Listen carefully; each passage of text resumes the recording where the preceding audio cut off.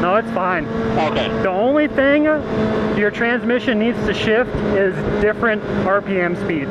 But when you're going down, you just hover over it and, Oh, shit. All right, all right. you know, and it, it's totally fine. on Do what you gotta do. Ah, I dropped it way too hard. All right, we're doing a test review of the brand new uh, 2000 whatever. The 2000 Gucci R6.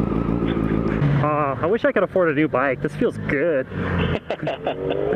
Let me turn around. I want to see you do a wheelie. All right. Hey, that's pretty good. that feeling never goes away, man. All right, what's up, Pack? Today we're doing five ways you're killing your bike. I'm out here with Pallone. He's now into life logging, which is pretty badass. Hopefully, I don't crash because I'm not very good anymore. Uh, actually, I never was really good. I was about to say you never would I was never good at this. So number one uh, way you're killing your bike is you're using the wrong oil. Now, I admit to doing this, sadly, but I didn't realize there's a difference between car oil and motorcycle oil. When you go to get oil, you think you just need the weight. You need the first weight. The, so let's do 10W30. The 10 is how the oil will react to uh, cold temperatures. The W stands for winter. And the 40 or the 30 is how oil reacts when it heats up. I always thought the W stood for like weight. Uh, it stands for winter, and it's a it's got an additive in there, which is the big thing with oils. That's a whole difference between car oil and bike oils. It has different additives to protect your engine.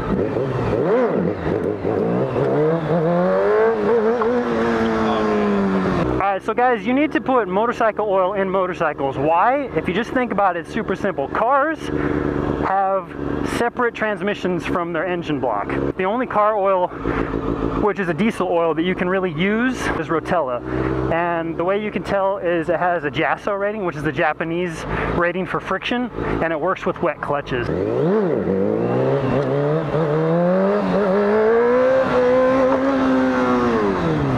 Yeah, the JASO rating is what measures friction in the oil, and basically Rotella is the only one that uh, I've ever found that can be put in a bike. If if your bike can run their weights, I don't remember they have like three or two or three different weights. So they have specific weights. Yeah, so you need to run what your bike needs to run. So my bike would run. Um, it runs 1040. I got 1030 in it now, but you know, whatever. MA is lower friction, higher, so it'll be more slippery on your clutch. Your clutch will slip more, anything lower than M1. And it goes up to M2, which is more sticky, so you'll have more friction, basically. Car oil is bad for your transmission because the gear teeth are like, think of it as like strong nutcrackers. When they slam together, it separates the, um, the oil molecules, and it's basically metal on metal. So that's the main reason you don't want to use car oils in your bikes, guys.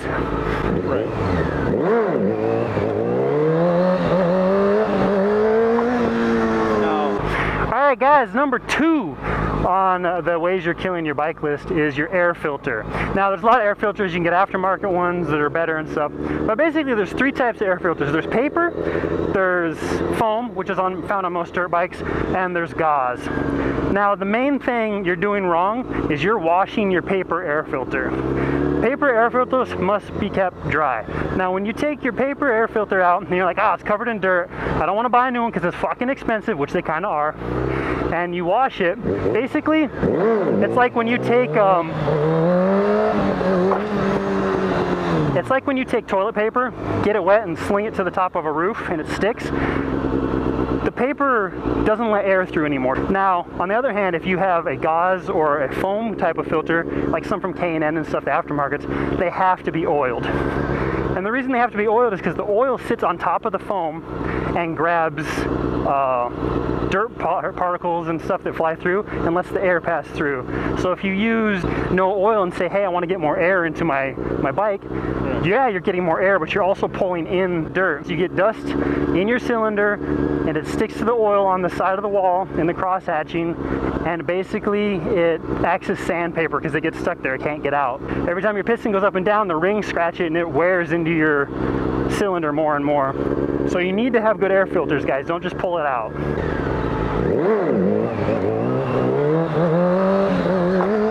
The third way you are killing your bike is you're not adjusting your throttle and clutch cables correctly. You know, everyone likes their cable tighter and you know, you want it to be real stiff. But basically this causes extra wear on your cable when you pull it and doesn't allow for the free play like when you turn.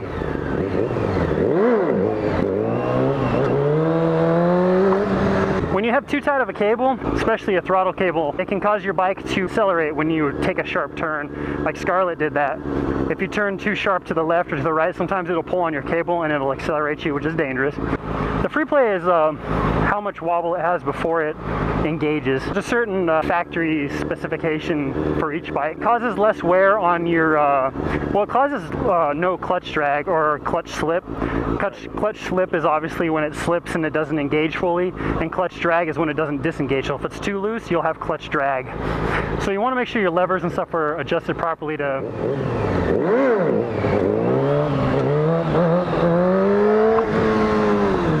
to extend the life of your parts. People don't lube their chains. If you have a chain driven bike, what a lot of people do is use grease. Now grease is great for oiling it, like it'll keep it really good, but the main thing is that it picks up stuff. Like you go off road once or you go on a long trip, it's gonna pick up sticks and rocks and little squirrels and all kinds of shit are gonna get stuck up on your chain. And that acts as sandpaper on the uh, O-rings and shit, and it'll it'll cut the life of your chain pretty short. So you want to use a wax kind of like lube, and basically it sprays on wet, and then the wax dries, and it kind of sticks to the chain, and it doesn't pick up dirt and stuff, and it still lubricates. It's like it's um it's called a dry lube. I don't think I can get up on the tank of this one. Ugh. It's a little too a little sketch.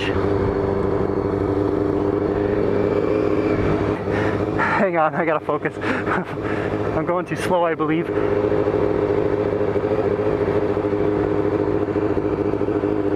Oh, my knees. Oh, we did it. Oh, you're drifting. Oh, we did it. I'm gonna fucking die.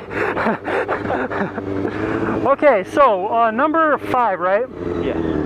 Uh, the number five way you're killing your bike is you're doing fucking race starts, guys. You think you're badass, fucking taking off and beating fucking Priuses and shit.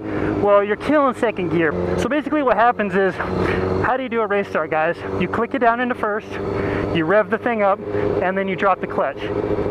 Now, yeah, the first the first gear gets a little wear, but most of the wear is when you shift into second gear at high RPM. Ugh. Uh, you gotta pull it up a little bit higher, man. Yeah, it's not quite balanced there. Hmm, my tank leaks. There's a lot of gas coming out. okay. Just because you're missing that fucking bolt. Nah, I don't need all the bolts. You rev your engine, you drop the clutch. The dogs on your gear, your, on your slider gear, are already slid in, they're locked. When you want to shift into second gear, as you shift, your bike goes into a fraction of neutral and then slams into second gear, and those dogs connect, connecting to the second gear. But that's where it wears out. You can break your dogs off, but that's what breaks second gear. Uh, nubs on the actual slider gears that uh, shift in your transmission to switch you to a higher or lower gear. You can buy my drink? Yeah. I was gonna buy your drink. Spend too much money on me. You, you, you let me do a little bit, some little baby willy. Do a woolly. I was like gonna get on and be like, all right, I'm gonna go hard. Nope. I'll find out in two months. I owe you like 500 bucks. I'll get like a receipt. That's all the shit I bought you. But What are those cameras on your helmet? Yeah, there? yeah. Oh, cool. All right. Good stuff. All right, thank you. You're welcome, guys. Have a great day. You too. All right, guys. Number six is you're using your clutch too much. What do I mean by this? And now, when you're learning uh, to ride, it's a good idea to leave your bike in gear at stoplights so you cannot be run over. Like if you have to move and you see a car coming up behind you or whatever, you're you're taught to leave it in gear. But the more you pull on your clutch, the faster your clutch wears out. In in short, because basically when you pull your clutch it releases the pressure on the friction plates and the drive plates and uh, it doesn't pull them apart. Like they still rub constantly. All right guys number seven the way you're killing your bike is using the wrong gas. This makes the the gas resistant to makes okay. Ah.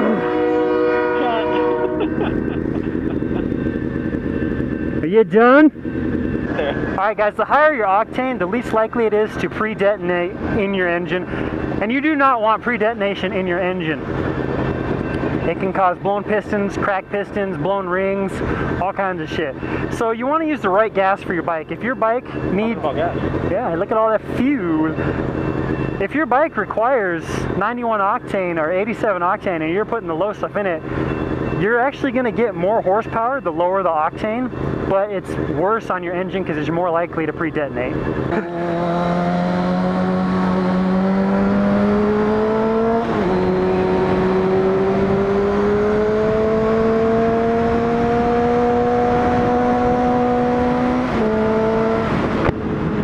Smooth. That corner's pretty fun. Then you can introduce that into your. Holy shit. Holy shit. Is we're doing below speed limit. We're so slow. Why are we so slow? Hey, I got a sport bike. It's the Formula One of street bikes. I'm gonna go ahead and just putt around. You got the colder spark plugs, bro. Ah, I gotta. It's warming up. That guy went around me. what a dick.